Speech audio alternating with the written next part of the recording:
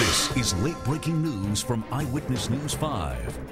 Good morning, everyone. I'm Anita Blanton. We'll get you back to the view in just a few moments, but we want to continue to update you on this developing situation here at Northwest 31st and May. A business evacuated due to a ruptured gas line there. Eyewitness News 5's Jessica Holloway is there on scene live. Jessica, what can you tell us about what's happening there? We're right on the northwest side of Oklahoma City where firefighters and ONG are working a gas line leak and we just got a brand new update. That leak is now shut. If you take a look over my side, you can see the Oklahoma City hazmat team is on hand. They've been testing the air quality, making sure that this is a safe area, no big catastrophe for residents. Joining me, Battalion Chief Greg Lindsay with details. Is there anything that the public needs to know about this afternoon?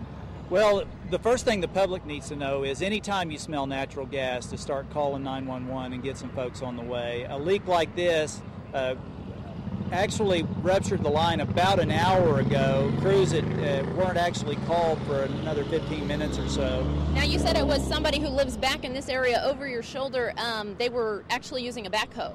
Right, right behind the advanced auto parts store, there was a plumber working. He was using a backhoe ruptured a, a medium to low pressure line, and, and that's what started the gas leak.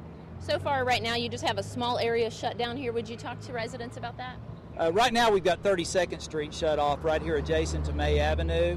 We do have this leak under control. ONG's got it under control. We're going to start picking up our tools and hand lines that we've got out to protect them. As soon as we get that picked up, the next thing will be to open the streets back up. Excellent. Those residents that were evacuated are going to be allowed back in? Uh, I think they've already been released to go back into their homes. Thanks so much for being with us, and we'll keep you guys updated on the road closures and openings. You can also follow us on the web, koco.com. Live in Northwest Oklahoma City, Jessica Holloway, Eyewitness News 5. All right, thanks, Jessica. Again, that gas line has now been shut off. The firefighter, you heard him say, they believe that the situation is under control now. But stay with Eyewitness News 5 for any updates throughout the rest of the day. This has been late breaking news from Eyewitness News 5.